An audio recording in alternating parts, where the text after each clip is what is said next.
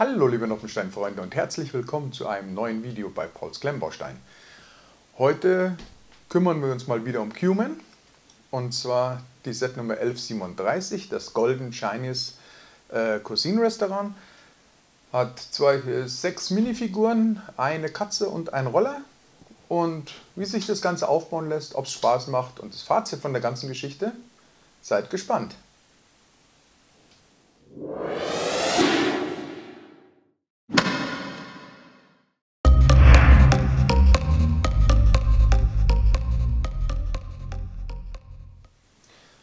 Schauen wir uns zunächst einfach mal den Karton an. So sieht es von vorne aus. Die riesengroßen Abenteuer der Rückseite. Wie gesagt, Katze dabei, Motorroller dabei. Sechs Figuren an sich.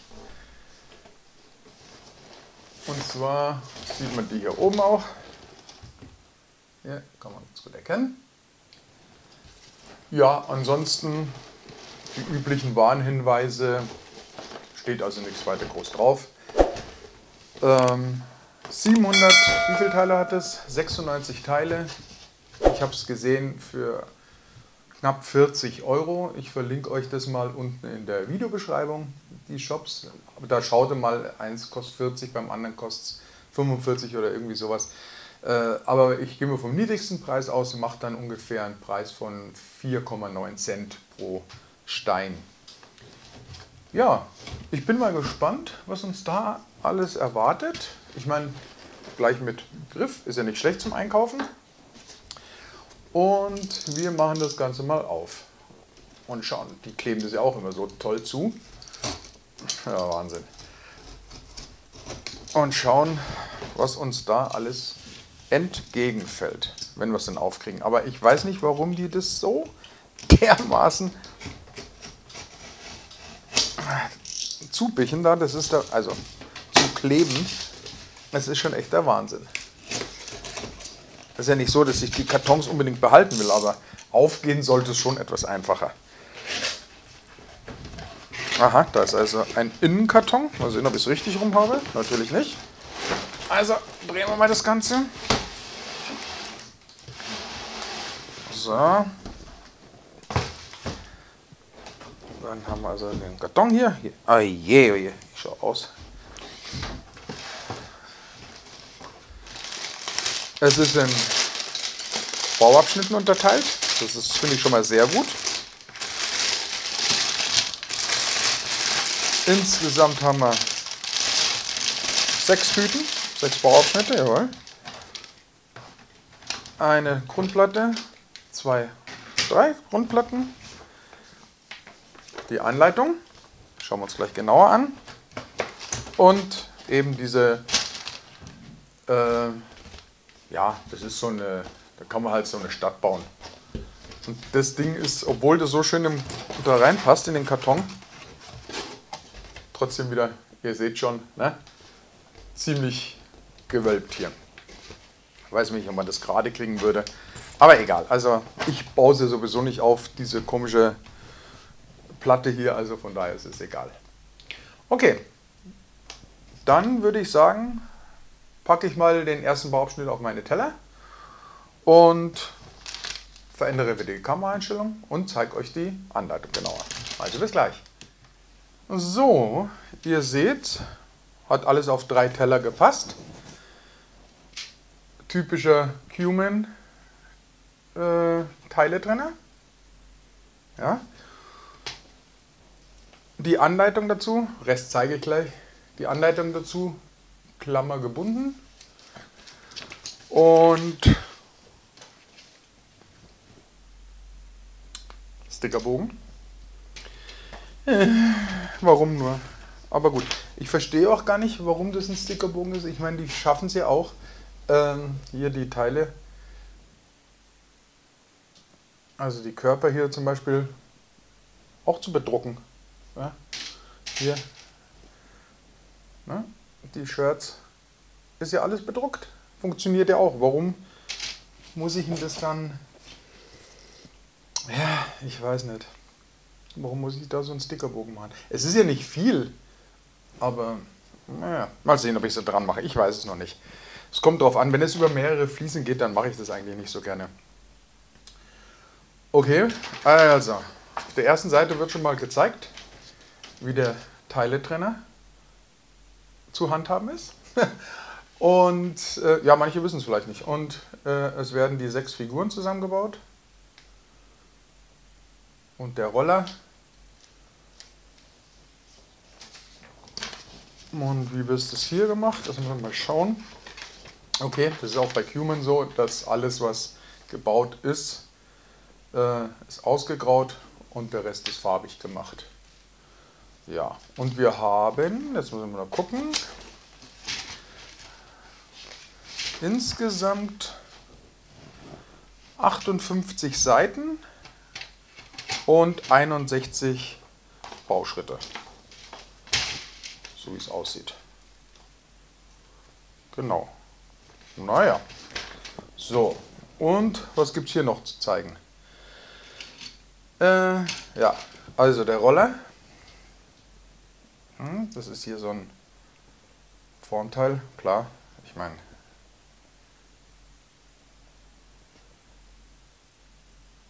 wenn es jetzt mal ein bisschen fokussieren würde, fände ich das echt klasse. Aber das ist anscheinend das Problem, dass ich die Teller dann immer hier so drunter stehen habe oder im Bild stehen habe und dann fokussiert er das drauf. Jetzt machen wir es mal so. Jetzt habe ich nichts mehr hier stehen und dann schätze ich mal, müsste es auch funktionieren. Genau, geht doch. So, also das ist das Formteil von diesem Roller hier.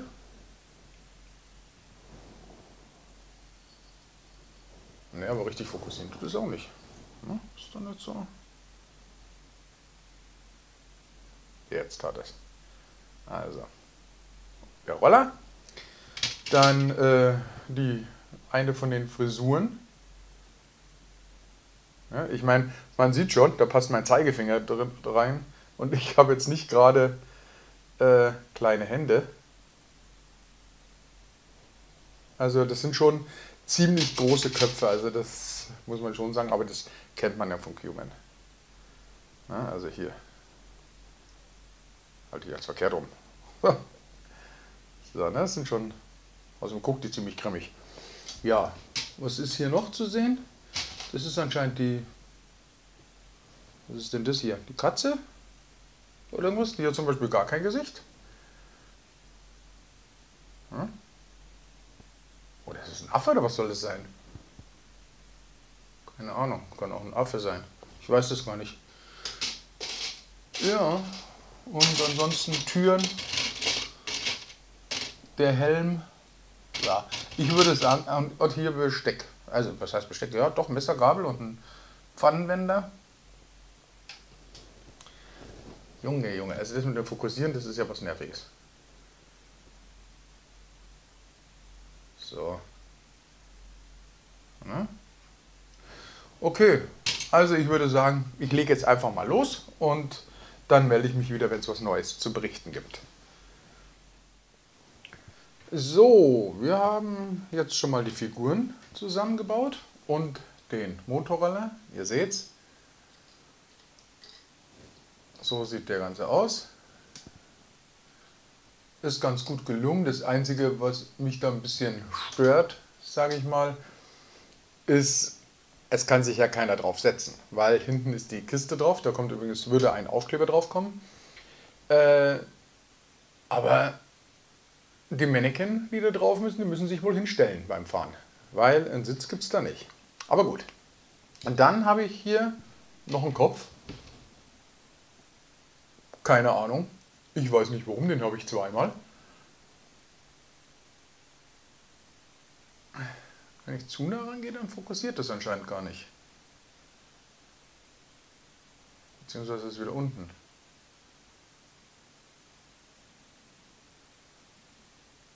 Ja, ist das nervig.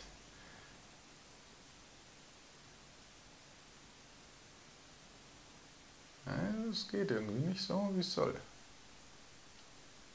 Jetzt. Also. Den Kopf habe ich zweimal. Das ist nämlich der von der, von der Lieferantin, von der Rollerfahrerin. Der ist dann aber. Warum der zweimal dabei ist, ich habe keine Ahnung. Also so sehen jetzt die Figuren aus.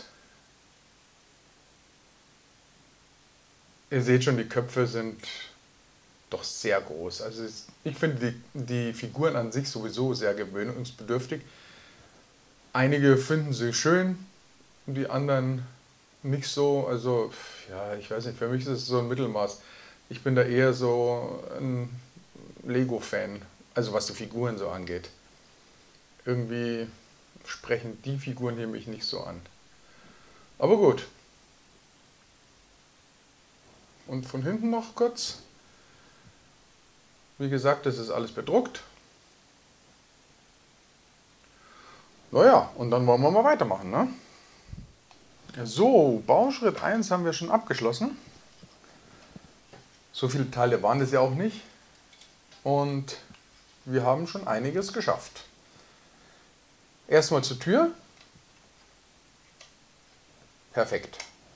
Die geht einwandfrei, die fällt nicht zu, die fällt auch nicht auch von alleine auf. Hervorragend. Dann gehen wir mal zur Einrichtung. Und zwar haben wir hier einmal eine Karotte schon gebaut. Die sieht man da drin. Mehr gibt es ja nicht zu essen. Eine Karotte. Das Beil hier dran. Und hier ist der Pfannenwender. Den haben wir dran mit einer kleinen Pfanne. Den Grill hier. Das ist eigentlich wirklich ganz putzig gemacht. Dann haben wir hier schon die Kasse. Hier. Da soll normalerweise dann auch ein Aufkleber drauf. Ich kann denjenigen zeigen, der da drauf soll. Ja. Der unten mit den Zahlen. Der sollte eigentlich da drauf. Aber ich lasse das alles weg. Habe ich beschlossen. Ja, die goldene Katze habe ich jetzt also gelernt. Das gehört ja auch zu jedem China-Restaurant irgendwie dazu. Das ist so eine Glückskatze wahrscheinlich dann. Naja, und dann schon mal äh, vier Stühle, dass die Leute da sitzen können. Und ich muss sagen, das macht bis jetzt Spaß. Ja. Und die Klemmkraft ist gut. Also da kann man nicht meckern. Das hält einmal frei. Hätte ich gar nicht gedacht, dass das so gut funktioniert. Jetzt möchte ich noch kurz was zur Anleitung sagen. Und zwar, das finde ich natürlich auch mega gemacht. Wir sehen, dass es fokussiert wieder. Jetzt. Und zwar seht ihr hier die vier Teile, die wir da einbauen müssen oder hinstellen müssen. Und das haben wir mit diesen schwarzen Punkten gemacht, dass man da weiß, aha, viermal dahin, dreimal dahin. Also vier, drei. Und so in diesen Abständen soll es halt gemacht werden. Da braucht man nicht groß zählen, das ist eine klasse Idee, finde ich gut. Und auch, äh, ich muss mal kurz blättern hier nochmal, zum Schluss glaube ich war das ja, oder? Hier auch, man muss nicht zählen. Ja? Da steht einmal acht ja, bei diesem Stein hier unten. Und sowas finde ich natürlich klasse. Ich meine, gut, ich kann zählen, aber ich finde es nicht schlecht, wenn man äh, das so macht, weil äh, wenn es kleinere Kinder aufbauen, ich glaube, das war ab sechs, ähm, ist es für die auch einfach zu machen. Ja, ab 6 ist es. Es ist für die auch einfach. Also das finde ich gar nicht mal so schlechte Idee. Okay, dann werde ich mal die zweite Tüte schon aufreißen und wir machen weiter. So, Bauschritt 2 bzw. Bauabschnitt 2 haben wir abgeschlossen. Ähm, erstmal bin ich ein bisschen verwirrt. Denn das ist übrig. Einmal ist es ja die Dunstabzugshaube hier und dann noch vom Tisch äh, so ein halber. Ja, und diese, das ist auch unter der, dieser Knopf da, das ist auch unter der Dunstabzugshaube. Verstehe ich nicht. Und ihr seht schon, hier, ich habe jetzt die Aufkleber doch angebracht. Ja, fehlen hier welche weil ich denke dann doch, ähm, ich zeige euch erstmal in den Rolle hier, da habe ich das jetzt drauf gemacht. Das mit den Stäbchen hier, genau. Ähm, und hier auch, denn ich denke jetzt auf den Teller sollte schon was sein. Ne? Auch an der Kasse, sehe das, habe ich es jetzt auch aufgebracht. Ich meine, wenn ich sie schon aufbringe, dann bringe ich sie alle auf. Also habe ich es auch an der Kasse ja mit drauf gemacht. Ähm, ja, was noch? Also das ist genial gemacht hier. Das ist ja so ein Drehteller hier. Na, das kennt man ja vom chinesischen Restaurant, dass dann, äh, dass man das hier dann drehen kann. Was ich ein bisschen doof finde, ist eigentlich, äh, die haben hier diese Sets da liegen, die vier Stück. Passt aber nicht zu den Stühlen, weil dann hätte man den Tisch, ja, den, den kann man nicht anders hinstellen, das geht nicht. Und diese Sets kann man auch nicht so hinlegen, dass die dann hier passend dazu sind. Aber gut, das sind nur so Kleinigkeiten. Was ich vorhin noch vergessen habe, hier unten drin ist, äh, mal sehen, ob ich das so halte, hier unten drin, hier seht ihr das mit der weißen Tür, das ist also noch ein Schränkchen. Und da, wenn ich es jetzt aufdrehe, naja, kriege ich jetzt nicht auf, da ist auf jeden Fall Messer und Gabel drin. So, dann haben wir die Küche noch ein bisschen weiter gebaut. Da wo die Karotte drin liegt, ist also jetzt ein, das ist, wissen wir jetzt auch, was das ist, ein Waschbecken, weil ja da ein Wasserhahn ist. Genau. Dann haben wir noch hier ein Fenster angebracht. Oder Fensterläden. Ne? Die auch sehr gut auf und zugehen und nicht von alleine auf und zugehen. Und dann, ich denke, das ist hier, glaube ich, so, das sollen so Reisbällchen wahrscheinlich sein, die haben wir hier auch noch. Das gehe ich mal von aus, ist der Straßenverkauf dann hier. So. Ja. Ist doch schon ganz nett geworden, finde ich. Das einzige, das Ding hier fällt immer raus von dieser Schale da. Was auch immer das sein soll, keine Ahnung. Aber das Teil da, das Gelbe, das fällt immer raus. Also wenn man es zu schräg hält. So, ne? Das ist klar. Aber das ist jetzt nicht so tragisch. Ja, ansonsten, wie gesagt, es lässt sich schön bauen und macht auch Spaß. Und ich denke, für ein sechsjähriges Kind, ja, zum Bespielen später ist das nicht schlecht. Ach ja, wir haben ja noch, das habe ich noch ganz vergessen, hier noch eine eine, äh, einen Ventilator angebracht hier. Ne? Ist ja klar, Dunstabzugshaube muss natürlich auch ein Ventilator sein. Meine Güte. Ähm, dass das dann alles nicht so stinkt da drin. So, Bauabschnitt 3 ist auch fertig. Wir haben jetzt hier schon das Vordach, Markise, was auch immer reingemacht. Ein äh, Hydranten und da ein paar Scheiben. Die versuche ich euch mal ein bisschen näher zu zeigen, wenn es denn geht.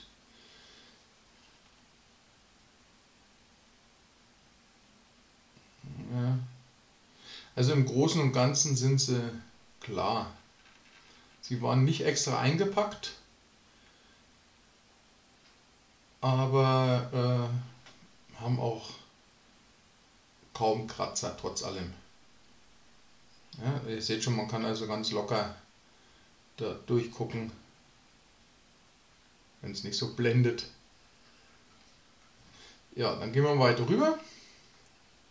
Und ihr seht auch da habe ich jetzt die Aufkleber angebracht. Es blendet ganz schön mit dieser, mit dieser Stuhllampe da. Die Katze ist auch schon da ist ein Menüschild und am Eingang diese zwei chinesischen Schriftzeichen. Ja, und da oben noch ein paar Gold, mehr so einmal eins Round Golddinger da, keine Ahnung wie die heißen. Ja, ansonsten ist ja eigentlich nicht viel passiert. Innen hat sich jetzt auch nicht mehr so viel getan bis auf das Gitter hier und ach ja doch, dann ist hier noch ein, äh, ein, Bilderrahmen oder ich weiß gar nicht, was das da sein soll. Also ein Bild oder ja, und dieses Gitter, was da noch ist, als Schutz, dass man nicht gleich, wenn man reinkommt, die Leute beim Essen sieht. Äh, cool gemacht ist der schon, finde ich. Ne? Das hat schon was. Es ist ja auch bespielbar, es ist ja, glaube ich, hinten dann alles offen. Und von daher ist es also für Kinder definitiv was Schönes. Und ich mache jetzt auch gleich weiter mit Bauabschnitt 4. Es geht eigentlich relativ zügig, weil dadurch, dass es alles so gut unterteilt ist, äh, man hat meistens nur zwei Teller und ja, das geht eigentlich relativ flott. Also, bis gleich. Bauabschnitt 4 ist auch abgeschlossen. Und ja, so langsam muss ich sagen, wird es schon. Na, jetzt, muss man schon. jetzt muss ich schon weiter weggehen, dass man das ganz sieht. Wir haben jetzt also auch angefangen, ein paar Lampen noch anzubringen hier. Ne, Quatsch, auf der anderen Seite. Da oben seht ihr, das ist ein Geländer. Das Vordach hier. Und die, ich denke, das wird so eine Terrasse. Ja, da sind hier schon mal auch ein paar Stühle und äh, ein Tisch. Ja, das ist, ist, macht schon was her jetzt langsam. Wenn mir nur nicht immer das Ding darauf fallen würde da hinten. So schaut das jetzt von hinten aus. Also es ist schon, ja. Also wie gesagt, man kann es ja dann bespielen, also hier Figuren reinsetzen dann und vielleicht einen Koch reinstellen oder irgendwas machen. Also das funktioniert schon ganz gut, denke ich. Also von daher glaube ich schon, dass das auch für Kinder geeignet ist. Und was ich noch sagen wollte, hier ist die Tür, also die geht ja auch gut auf und zu, ohne dass sie zufällt. Und da ist es, mal sehen, ob das geht, da ist das Glas schon drin. Bei den meisten muss man ja das Glas dann irgendwie einsetzen, also die Fensterscheibe oder Türscheibe in dem Fall. Aber da ist es also schon drin gewesen. Das ist schon richtig fest. Ist auch nicht schlecht. Da haben wir anscheinend noch so einen Blumenkasten. Oder was das da sein soll. Naja, dann würde ich mal sagen, machen wir mal Bauabschnitt 5 weiter. Und so viel ist es ja jetzt nicht mehr. Dann kommen wir langsam zum Ende. So, und wieder haben wir einen Bauabschnitt abgeschlossen. Und zwar Bauabschnitt 6. Unsere obere Etage wird langsam auch fertig. Quatsch, nicht Bauabschnitt 6, Bauabschnitt 5 haben wir abgeschlossen. Bauabschnitt 6 und der letzte, der kommt jetzt dann. So, okay, also nochmal von vorne. Wir haben also Bauabschnitt 5 abgeschlossen. Und unsere obere Etage wird langsam fertig. Hier jetzt den, das finde ich halt genial gemacht, diesen, diesen, ja, diesen Kreis hier, diesen Durchgang oder was das sein soll. Und das sieht man ja oft in China-Restaurants. Dann hier diese Palmen rechts und links, ist auch schön gemacht. Hier haben wir jetzt den nächsten Sticker dran. Also hier ist erstmal ein Fenster. Und, wartet mal, wo ist er? Da. Ne? Hier ist der noch ein schönes Bild. Jawohl. Die Tische, beziehungsweise den Tisch hier hatten wir ja schon. Und auf der anderen Seite haben wir jetzt auch noch einen. Mit zwei Gläser und so ein Reisbällchen oder was das sein soll. Unten, das haben wir ja schon erledigt. Nun gucken wir nochmal von vorne, da hat sich nämlich auch noch ein bisschen was getan. Und zwar haben wir jetzt die ganzen Verzierungen hier oben. Kann man das überhaupt so sehen? Das ist blöd, ne? Äh, mal sehen, wie ich das hinkriege ohne... Also, ich, also hier sind so, hier kann man es sehen, so hängen da zwei Fische hier dran. Das ist eigentlich ganz putzig gemacht auch. Ja, und halt sonst so Verschnörkelungen und Verzierungen und ja, ich finde, das schaut echt nicht schlecht aus. Und ich muss auch sagen, für das Geld, also wie gesagt, das waren so um die 40 Euro, kann man eigentlich nicht meckern. Und ich denke, da wird sich jedes Kind auch drüber freuen, über so ein kleines China-Restaurant. Finde ich klasse. So, das war's. Unser kleines goldenes chinesisches Restaurant ist fertig. Wir haben jetzt 796 Teile verbaut. Das hier ist alles übrig. Das ist schon eine Menge. Vor allem so große Teile. Wundert mich eigentlich. Ähm, ja, der Roller. Ist klar, ich habe jetzt die Figuren mal so ein bisschen reingesetzt hier, rangemacht. Das schaut ein bisschen lebhafter aus. Äh, ich zeige euch jetzt nochmal die Dachterrasse, wie sie fertig ist. Hier mit einer Ampel noch, Fußgängerampel. Und oben noch ein paar Kirschblütenpflanzen, keine Ahnung. Da habe ich auch den einen reingesetzt. Das ist ja so eine offene Terrasse, also auch von oben her. Ne? Das ist eigentlich ganz schön gemacht. Von hinten das Ganze noch, dass es schön bespielbar ist.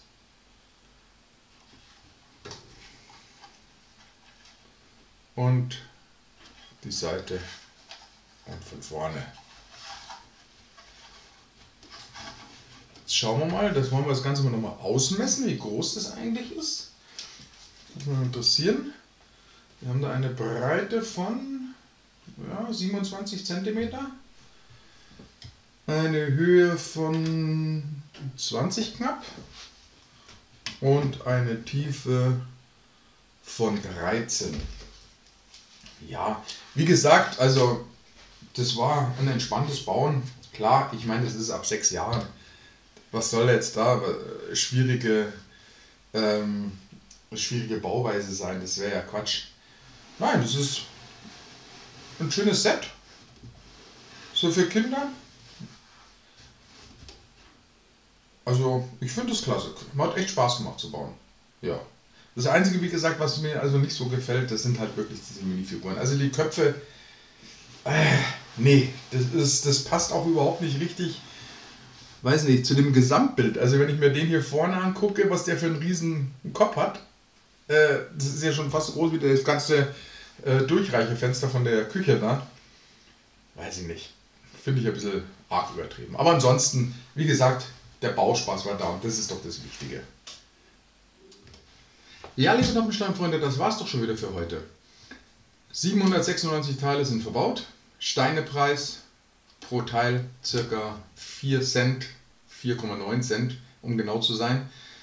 Ähm, ich habe jetzt circa, naja, ganz entspannt eineinhalb Stunden ungefähr gebaut. Ähm, und es war wirklich, wie ich schon gesagt, ein entspanntes Bauen und hat Spaß gemacht. Was gibt es sonst dazu zu sagen? Es ist halt schon recht bunt, aber ich glaube, das sind diese Sachen von Cuman, von der Colorful City Reihe im Allgemeinen, äh, dass die recht bunt sind. Ich meine, wir können das ja da hinten mal nach sehen. Ne? Schaut schon relativ bunt aus alles. Aber es ist halt für, denke ich mal, kleinere Kinder gemacht worden. Und die haben mit Sicherheit ihren Spaß daran. Also auch hier so, so eine kleinen Sachen wie hier die Tauben, die hier sitzen oder eben diese Kirschblüten oder was das sein soll, keine Ahnung.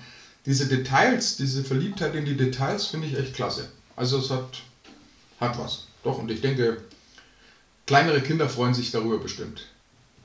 Ich wollte es ja nur vorstellen. Meins ist es an sich nicht. Ich werde es jetzt wieder abbauen. Und äh, ich freue mich dann auf jeden Fall wieder auf modulare Gebäude. Das ist eher meins oder Fahrzeuge. Hm, irgendwas findet sich schon. Ich habe noch genug da. Und ich hoffe, euch hat das Video gefallen. Würde mich freuen.